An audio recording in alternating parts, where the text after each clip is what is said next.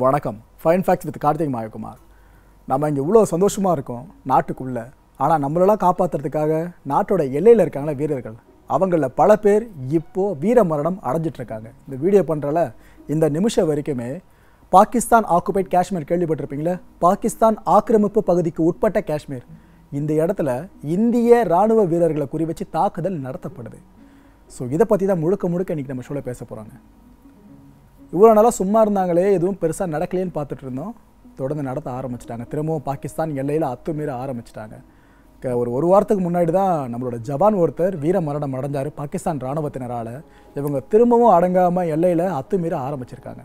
இப்போ நடந்த விஷயங்க இதை பற்றி முழுசாக உங்களுக்கு எக்ஸ்பிளைன் பண்ணிடுறேன். காஷ்மீரில் குப்வார் அப்படின்ற மாவட்டம் கேள்விப்பட்டிருப்பீங்க. அங்கே டேங்தார் அப்படின்ற பகுதியில் நம்மளோட நாட்டு ராணுவ வீரர்கள் வழக்கம் போல் பாதுகாப்பு பணியிலையும் கண்காணிப்பு பணியிலையும் ஈடுபட்டிருந்தாங்க. அப்போது அங்கே வசிச்சிட்டு இருந்த பொதுமக்களை குறிவச்சு பாகிஸ்தான் ராணுவத்தினர் அத்துமீறி போர் நிறுத்தத்தையும் மீறி அந்த இடத்துல அத்துமீறி தாக்குதல் நடத்தினாங்க. அதில் உள்ளூர்வாசி ஒருத்தர் உயிரிழந்துட்டாரு. நம்ம நாட்டோட ரெண்டு ராணுவ வீரர்கள் வீர மரணம் அடைஞ்சிருக்காங்க. ஸோ எதிர்பாராத இந்த தாக்குதலால் இந்திய ராணுவம் ரொம்பவே அந்த இடத்துல பார்த்தீங்கன்னா பதட்டத்துக்கு உள்ளே ஆயிடுச்சு என்னடா இவங்க போர் நிறுத்தத்தையும் மீறி தொடர்ந்து இப்படியே அத்துமீறி தாக்குதல் நடத்திட்டு இருக்காங்கன்னு சொல்லிட்டு அவங்க பாணியிலேயே பாடம் போட்டணுன்றதுக்காக இந்திய ராணுவமும் பதிலடி கொடுத்தாங்க. சாதாரணமாக இதுக்கு முன்னாடி யூஸ் பண்ணிட்டு இருந்த ஆயுதம் கிடையாது இந்த தடவை தனுஷ் ஆர்டிலரி கன். இது மூலமாக பதிலடி கொடுக்கப்பட்டிருக்கு பாகிஸ்தானுக்கு.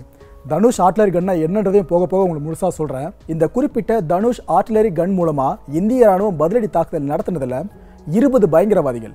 இருபது பயங்கரவாதிகளோட ஊடுருவல் முயற்சி தவிர்க்கப்பட்டு அவங்க சுட்டு கொல்லப்பட்டிருக்காங்களாம் இது ஆக்சுவலாக அப்ராக்சிமேட் ரேட்டு தான். பத்துலேருந்து இருபது பயங்கரவாதிகள் இறந்திருக்கலாம் அப்படின்றது இந்திய ராணுவத்தோட நிலைப்பாடு. குறிப்பாக பத்து பாகிஸ்தான் ராணுவ வீரர்கள் சுட்டு வீழ்த்தப்பட்டிருக்காங்க. இங்கே நம்ம இந்திய வீரர்கள் ரெண்டு பேர் வீர மரணம் அடைஞ்சதுக்கு பழி தீர்க்கிற விதமாக பாகிஸ்தானை சேர்ந்த பத்து ராணுவ வீரர்கள் கொல்லப்பட்டிருக்காங்க. அதுவும் இல்லாமல் ரொம்ப ரொம்ப ரொம்ப முக்கியமான விஷயம் இந்த ஆப்ரேஷனில் பிஓகே பாகிஸ்தான் ஆக்குபைட் காஷ்மீரில் இருந்த நீலம் பள்ளத்தாக்கு கேள்விப்பட்டிருப்பீங்களா? நீலம் வேலி. அங்கே இருந்த நாலு launch pads terror launch pads முற்று முழுதாக தகர்க்கப்பட்டுக்கு நம்ம இந்திய ராணுவத்தால். ரொம்ப பெருமையான விஷயம். ஆக்சுவலாக லான்ச் பேட் அப்படின்னா என்னன்னு தெரியாதவங்களுக்கு சொல்லிடுறேன். இந்த பாகிஸ்தான் இருக்காங்களா ராணுவத்தினர் எல்லையில் எல்ஓசிக்கு இந்த பக்கம் நம்ம இந்தியா அந்த பக்கம் பாகிஸ்தான். இப்படி தான் பிரிக்கப்பட்டிருக்கோம் லைன் ஆஃப் கண்ட்ரோல் கிட்ட. பாகிஸ்தானோட முகாம்கள் இருக்குல்ல ராணுவ முகாம்கள். அங்கே தீவிரவாதிகளுக்குன்னு தனியாக முகாம்கள் அமைச்சு கொடுக்கப்பட்டு பாகிஸ்தான் ராணுவமே அவங்களுக்கு முழு பயிற்சியும் கொடுத்து எங்களால் தான்ப்பா இந்தியாவில் போய் அடிக்க முடியல. நீங்களாச்சும் போயிட்டு கோழைத்தனமாக அடிச்சுட்டு வாங்க. ஆக்சுவலாக இதுக்கு பேர் வீரம் கிடையாதுங்க. முற்று முழுதாக கோழைத்தனம் தான். நீங்கள் போய் அடிச்சுட்டு வாங்கன்னு அவங்களுக்கு பயிற்சி கொடுத்து அவங்கள உள்ள அமுச்சு விடுற வேலையை யார் பார்த்துட்டு இருக்காங்க? பாகிஸ்தான் ராணுவம் தொடர்ந்து பார்த்துக்கிட்டு இருக்காங்க. ஸோ இந்த தீவிரவாதிகளை ரெடி பண்ணி அனுப்புகிறாங்களே அந்த இடம் அந்த முகாம்கள் இதுக்கு பேர் தான் டெரர் லான்ச் பேட்ஸ் அப்படின்னு சொல்லுவாங்க. லான்ச்னா கேள்விப்பட்டிருப்பீங்க ஏவருது. தீவிரவாதிகள் அங்கேருந்து ஏவறதுக்கான ஒரு அடிப்படை அமைப்பு தான் இந்த லான்ச் பேட்ஸ் சொல்லுவாங்க. இது மாதிரி நான்கு லான்ச் பேட்ஸை இந்திய ராணுவம் வெற்றிகரமாக முற்றுமுழுதாக தகர்த்துருக்காங்க தகர்த்திருக்காங்க. வழக்கம் போல் இதையும் பாகிஸ்தான் இல்லை தான் சொல்லிட்டு இருக்காங்க. ஓகே இதுக்கு முன்னாடி சொன்னல தனுஷ் ஆர்டிலரி கன் அப்படின்ற புது வரவு மூலமாக தான் பாகிஸ்தான் ராணுவத்துக்கு பதிலடி கொடுத்துருக்காங்க நம்ம இந்திய ராணுவம் சொல்லிட்டு. ஸோ அப்பேற்பட்ட அந்த இரும்பு அசுரன் தனுஷை பற்றி சொல்லாமல் இருக்க முடியாதுல சொல்கிறாங்க இது ஆக்சுவலாக தனுஷ் அப்படின்றது இப்போ புதுசாக இந்திய ஆர்மிக்குள்ளே இந்த எல்லை பாதுகாப்பு பணிக்காகவே பிரத்யேகமாக உருவாக்கப்பட்டிருக்கு. முழுக்க முழுக்க உள்நாட்டில் உருவாக்கப்பட்டு நிலைநிறுத்தப்பட்டிருக்கு. இதை பற்றின ஃபீச்சர்ஸ்லாம் உங்களுக்கு சொல்லிடுறேன். Hundred and five mm and hundred and twenty mm field கன்லாம் இருக்குல்ல? ஃபீல்டு கன்னா உங்களுக்கு என்னென்னு தெரிஞ்சிருக்கும். அந்த ரெண்டு பக்கமாக மாட்டு சக்கரம் மாதிரி சுற்றி நடுவில் ஒரு சின்ன பேரல் இருக்கும் பாருங்க. இதுதான் ஃபீல்டு கன்னு சொல்லுவாங்க. கூகுளில் தேடி பார்த்தீங்கன்னா ஃபோட்டோஸ் கிடைக்கும். அந்த மாதிரி ஃபீல்டு கன்லாம் இருக்குல்ல அதெல்லாம் கண்காணிப்பு பண்ணல இந்திய ராணுவம் பயன்படுத்திட்டு இருந்தாங்க.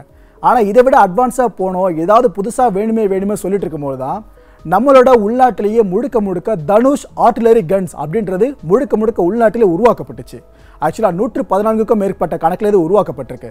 உருவாக்கப்பட்டு இந்திய ராணுவத்தில் இது இணைத்து கொள்ளப்பட்டு விட்டது இந்த தனுஷ் ஆர்டிலரி கன் அப்படின்றது.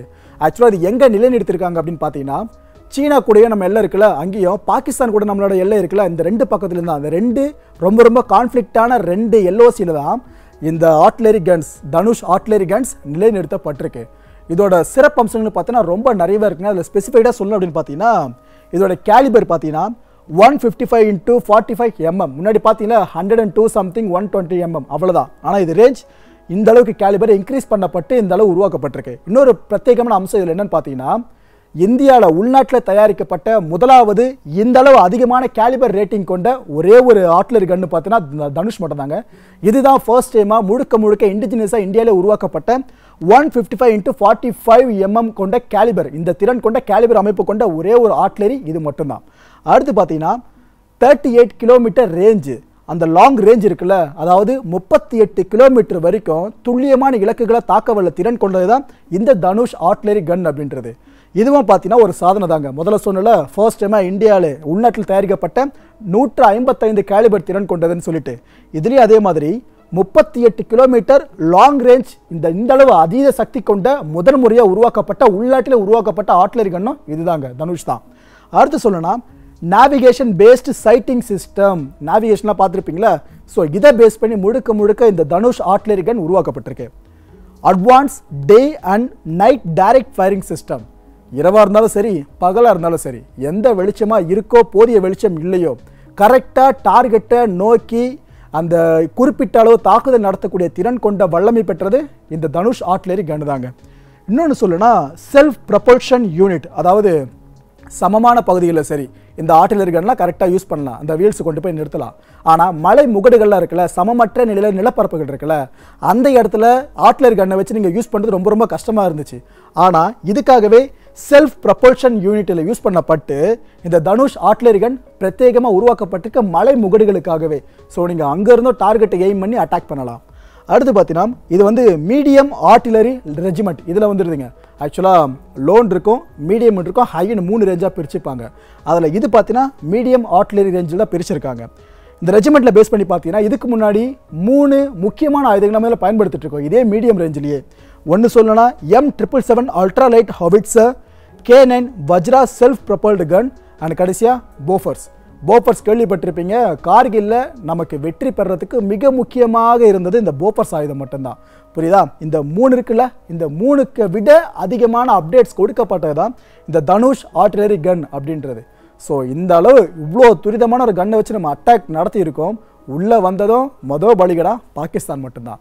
இது ஒன்றும் இந்திய ராணுவம் தானாக முன் வந்து வாலண்டியர் நாங்கள் அட்டாக் நடத்துவோன்ட்டு நடத்தலை தூங்கிட்டு இருக்க சிங்கத்தை திரும்ப திரும்ப திரும்ப எழுப்பிட்டு இருக்கு இந்த பாகிஸ்தான் ஆர்மி எல்ஓசியில் என்ன பிரச்சனை வருதோ இல்லையோ இவங்களால பிரச்சனை ஒரு ஒரு வாட்டியும் வந்துட்டு தாங்க இருக்குது ஸோ அட்டாக்ஸை யூஸ் பண்ணி இவங்க நிறைய தில்லு முள்ளியும் பண்ணிட்டு இருக்காங்க. அதையும் போக போக அன்வீல் பண்ணுறேன் இதில் நான் முதல்ல எதை அன்வீல் பண்ண விரும்புகிறேன்னு பார்த்தீங்கன்னா இந்த அட்டாக் எதுக்காக நடத்தப்பட்டுச்சு? இப்படி ஒரு கூற்று ஒன்று நிலவுதுங்க. எழுது. இதுக்கு பலரோட கருத்து என்னவா இருக்குது இந்த பாதுகாப்புத்துறை சேர்ந்த அதிகாரோட கருத்து என்னவா இருக்குன்னு பார்த்தீங்கன்னா ரொம்ப அமைதியான சூழலாக இருந்தால் இந்த பாகிஸ்தானோட எல்லையில் இருக்க தீவிரவாதிகள் இந்தியாவுக்குள்ளே ஊடுருவது கஷ்டம்.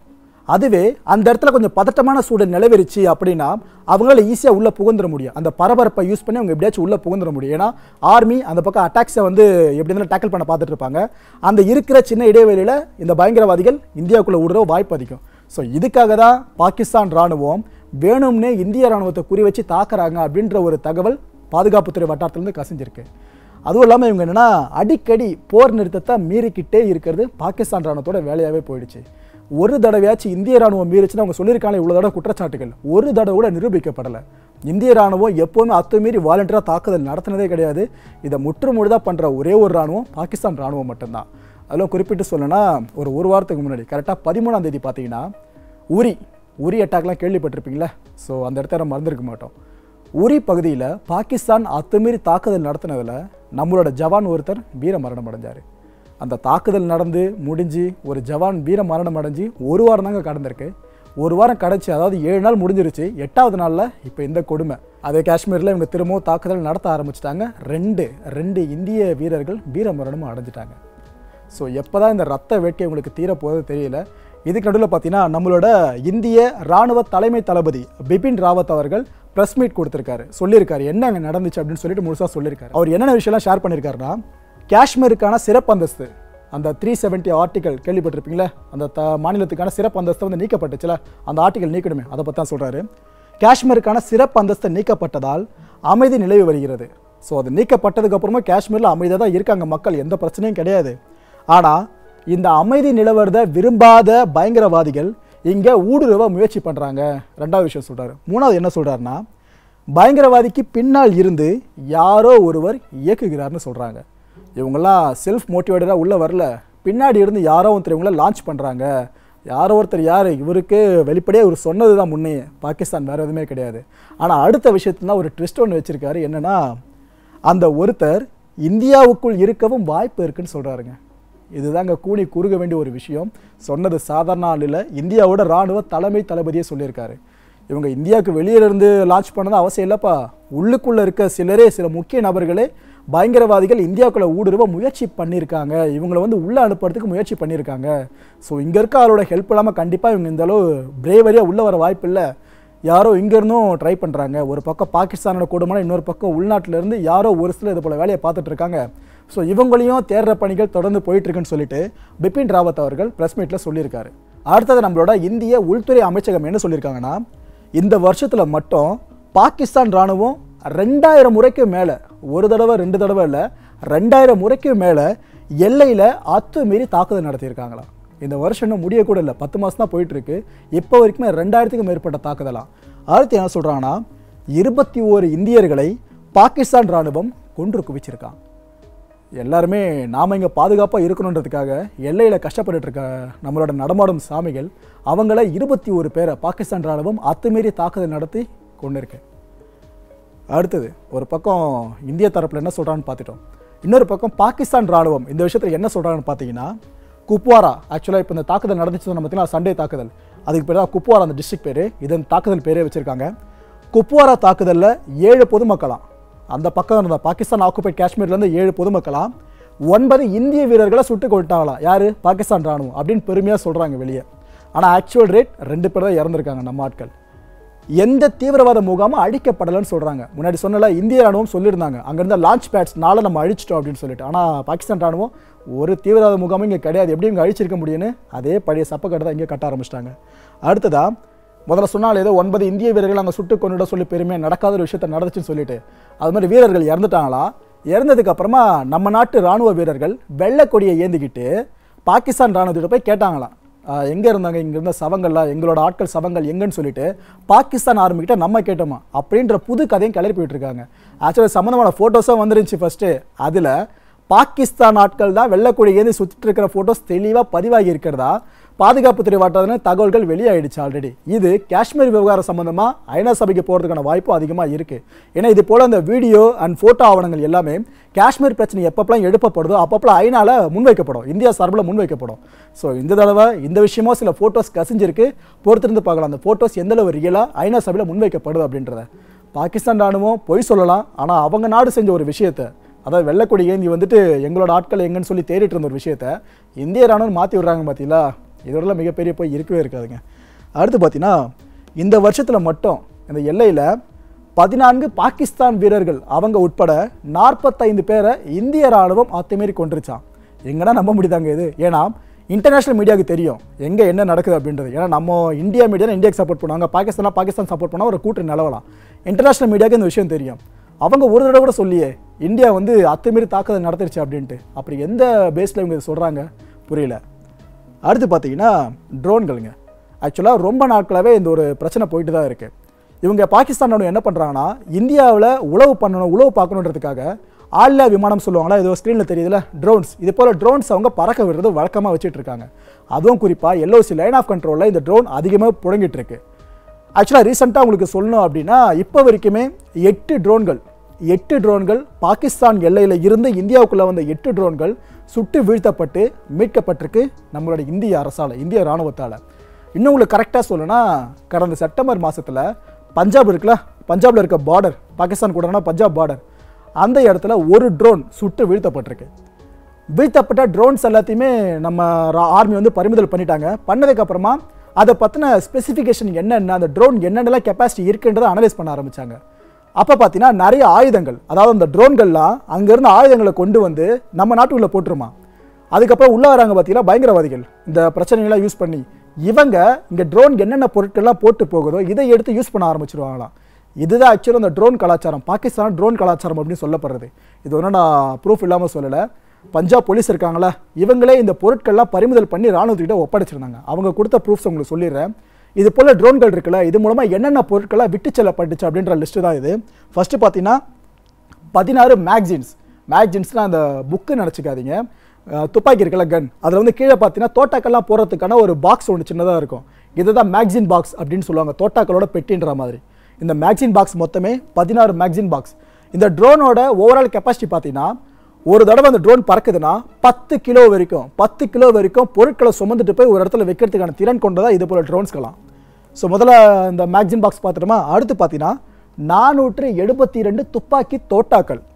அடுத்ததாக நாலு சீன தயாரிப்பு. ஸோ கனெக்டிவிட்டி பார்த்தீங்களா? சீனாவில் மேனுஃபேக்சரிங் பண்ணப்பட்டதாக அதில் பொறிக்கப்பட்டிருக்கு. உண்மை என்னன்னு தெரியல அதில் பொறிக்கப்பட்ட விஷயத்த சொல்கிறேன் சீனாவில் மேனுஃபேக்சரிங் பண்ணப்பட்டதாக பொறிக்கப்பட்டிருந்த point three O four pistols. கைத்துப்பாக்கி பார்த்துருப்பீங்களா சின்னதாக இருக்குமே. அது மாதிரி போர் பிஸ்டல்ஸ் நாலு அந்த இடத்துல கிடச்சிருக்கு.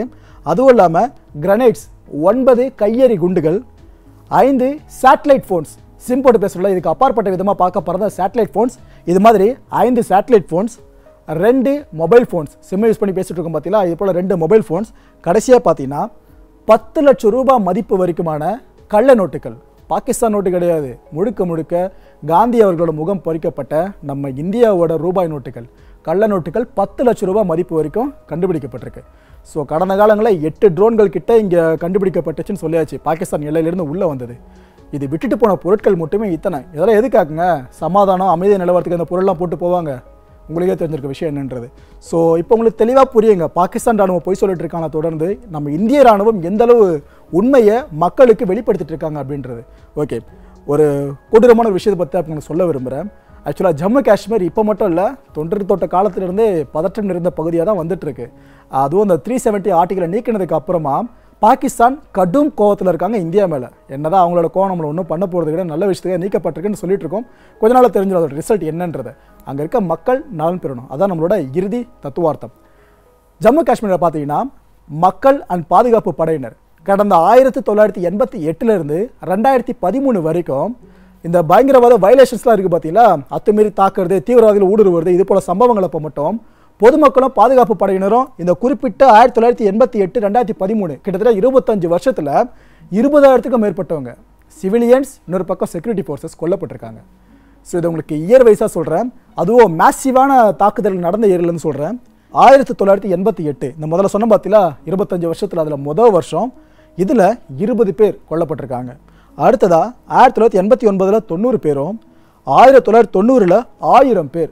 ஒரே வருஷம் இடைவெளியில் எந்த அளவு மேசிவாக உயர்ந்திருக்கு பாருங்கள் ஆயிரத்தி தொள்ளாயிரத்தி தொண்ணூற்றி ஆறில் ஆயிரத்தி எழுநூற்று ஒன்பது பேர். ஆக்சுவலாக இதுதான் ஹையஸ்ட் ரேட்டிங் இப்போ வரைக்குமே ஜம்மு காஷ்மீரில் இந்த வயலேஷன் அப்போது பயங்கரவாதிகள் அத்துமீறி தாக்குதல் நடத்துறது இது போல் வயலேஷனில் மட்டும் சிவிலியன்ஸ் அண்ட் செக்யூரிட்டி ஃபோர்ஸஸோட உயிரிழந்தோட எண்ணிக்கை இந்த குறிப்பிட்ட வருஷத்தில் தான் இந்த அளவு மேசிவான பீக்கை தொட்டிருக்கு. ஆயிரத்தி தொள்ளாயிரத்தி தொண்ணூற்றி ஆறில் ஆயிரத்தி எழுநூற்று ஒன்பது பேர். அடுத்ததாக ரெண்டாயிரத்தி ஒன்றில் ஆயிரத்து அறுநூற்று ஐம்பத்தி ஏழு பேரும் ரெண்டாயிரத்தி ஏழில் முந்நூறு பேரும் ரெண்டாயிரத்தி பதிமூணில் எண்பத்தி ஒரு பேரும் ஒட்டுமொத்தமாக இதில் கொல்லப்பட்டிருக்காங்க.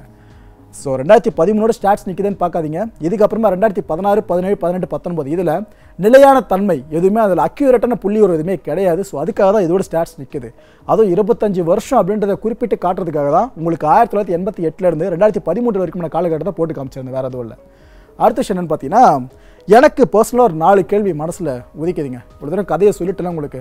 எனக்கு பர்சனலாக உதிக்குது இதுக்கான பதில்கள் உங்களுக்கு தெரிஞ்சதை கமெண்ட் பாக்ஸில் கமெண்ட்டாக அதை போஸ்ட் பண்ணுங்கள் ஃபர்ஸ்ட் கேள்வி என்னன்னு பார்த்தீங்கன்னா உள்நாட்டிலிருந்து பயங்கரவாதிக்குள்ள உதவி யாரோ செய்கிறாங்கன்னு சொல்லிட்டு பிபின் ராவத் சொல்லியிருந்தார்ல ராணுவ தலைமை தளபதி அவர்கள். இதுக்கு வாய்ப்பு இருக்கும்னு நினைக்கிறீங்களா? ஆக்சுவலாக நம்ம படத்துல தான் இதெல்லாம் பார்த்துருப்போம் பெருசாக உள்நாட்டிலேருந்தே காட்டி கொடுக்கறதுன்னு சொல்லிட்டு. ஆனால் நிஜத்திலே நடக்கிறத நம்ம கண் கூட இப்போது ஏன்னா சொன்னவர் சாதாரண ஆளில் திரும்பவும் சொல்கிறேன் ராணுவ தளபதியே சொல்லியிருக்காருன்னா கண்டிப்பாக அதில் பொய் இருக்க வாய்ப்பு இல்லை. ஸோ அந்த ஒரு ஆள் யாராக இருப்பார்? எந்த துறையை சேர்ந்தவராக இருப்பார்? அதிகாரத்தில் இருப்பார்? இல்லை சாமானியர்கள் சாமானியாக கலந்துருப்பாரா? உங்கள் மனசில் என்ன தோணுது? அதை கமெண்ட்டாக நீங்கள் போஸ்ட் பண்ணுங்கள் ரெண்டாவது கேள்வி என்னென்னு பார்த்தீங்கன்னா ஏற்கனவே ஒரு வாட்டி இந்தியர்கள் உலக ஆளுங்களை தலை நிமிர்ந்த ஒரு அட்டாக்னு பார்த்தீங்கன்னா surgical strike surgical strike two point O இப்போ அவசியம் தேவைப்படுதுன்னு நீங்கள் நினைக்கிறீங்களா? ஏன்னா பாகிஸ்தான் நிறுத்துகிற மாதிரி தொ- தெரியல. தொடர்ந்து அவங்க அத்துமீறலை நடத்திட்டு தான் இருக்காங்க. ஸோ திரும்பவும் இந்திய ராணுவம் சர்ஜிக்கல் ஸ்ட்ரைக்கை நடத்தினா ரெண்டாவது முறையாக நடத்தினா நீங்கள் அதை வரவேற்பீங்களா? உங்களோட கருத்து அதில் என்ன? மூணாவது ரெண்டு நாட்டு அமைதிக்கும் யார் முட்டுக்கட்டையாக இருக்கா? ஏன்னா ரெண்டு நாட்டு தலைவர்களும் இந்த பக்கம் பாகிஸ்தான் பிரதமர் இம்ரான்கானாக இருந்தாலும் சரி இந்த பக்கம் நம்ம பிரதமர் மோடி அவர்களாக இருந்தாலும் சரி ரெண்டு பேருமே அமைதியை நோக்கி போயிட்டுருக்குன்னு சொல்கிறாங்க ஆனால் இந்த விஷயத்தில் யார் தான் முட்டுக்கட்டையாக இருக்கிறது? ரெண்டு நாட்டுகளும் சமாதானம் வராமல் உங்கள் மனசில் யாரை தோணுது? எந்த ஒரு பிம்பம் உங்கள் மனசில் கிரியேட் ஆகுது? கடைசியாக பிரதமர் மோடியோட அடுத்த நடவடிக்கை என்னவாக இருக்கும்? என்னப்பா சின்ன சின்ன விஷயமா இருந்தாலும் பிரதமர் மோடி எடுத்துக்கிறீங்க? எல்லையில் தாக்குதல்னால பிரதமர் மோடி எடுத்துக்கிறீங்க? அவர் மட்டும் தான் கிடைச்சாலும் சொல்லி சில பேர் கேட்கலாம்.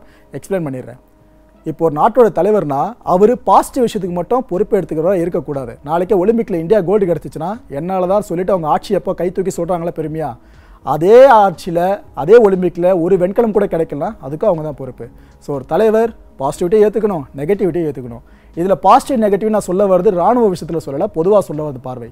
ஆனால் மோடி அவர்கள் எதுக்காக இதில் கேட்குறோம் அப்படின்னா இப்போ எந்த ஒரு எக்ஸிக்யூட்டிவ் பவராக இருந்தாலும் நம்ம நாட்டை பொறுத்த வரைக்கும் பிரதமர் கையில் தான் இருக்குது நாளைக்கே ஏதாவது நம்ம சர்ஜிக்கல் ஸ்ட்ரைக் எதனா நடத்துகிறோம் அப்படின்னாலும் அதுக்கான உத்தரவை பாதுகாப்பு அமைச்சகம் பிறப்பிக்குதோ இல்லையோ மோடி கிட்ட ஃபைனல் பண்ணதுக்கப்புறமா பிரதமர் கிட்ட வாங்கினதுக்கு அப்புறமா தான் அதுக்கான அட்டாக்கான முன்னேற்பாடு பணிகளே தொடர்ந்து முன்னெடுக்கப்படும். ஸோ அப்பேற்பட்ட ஆளுமையாக இருக்கிறவரோட அடுத்த கட்ட நடவடிக்கை என்னவாக இருக்கும் நீங்கள் நினைக்கிறீங்க பர்சனலாக அதே நீங்கள் கமெண்ட் பாக்ஸில் கமெண்ட்டாக லீவ் பண்ணுங்கள் ஓகே தாக்குதல் நடத்துகிற அளவுக்கு என்ன பெரிய பிரச்சனையாக இது அப்படின்னு சொல்லி சில பேர் கேட்கலாம். நம்ம ராணுவ வீரர்கள் ரெண்டு பேர் தானே செத்துருக்காங்க. இதில் என்ன இருக்குன்னு சொல்லி சில பேர் எதனா கேட்கலாம். சில கொடுமைகள் உங்களுக்கு சொல்கிற கடந்த காலம் நடந்ததை? அதை பார்த்ததுக்கப்புறம் உங்களுக்கே தோணும். அவங்களுக்கு பதிலடி கொடுத்தே தீரணும்னு சொல்லிட்டு. என்னென்னு சொல்கிறேன் ஒன்றும் இல்லைங்க. ஜம்மு காஷ்மீரில் பாகிஸ்தான் பயங்கரவாதிகள் கடந்த காலங்களில் நிறைய படுகொலைகளை செஞ்சுருக்காங்க. நிறைய படுகொலைகள். இதில் இருக்கிறது மட்டும்தான் கிடையாது. நான் ஒரு ஏழு மூணு தான் லிஸ்ட் பண்ணியிருக்கேன்.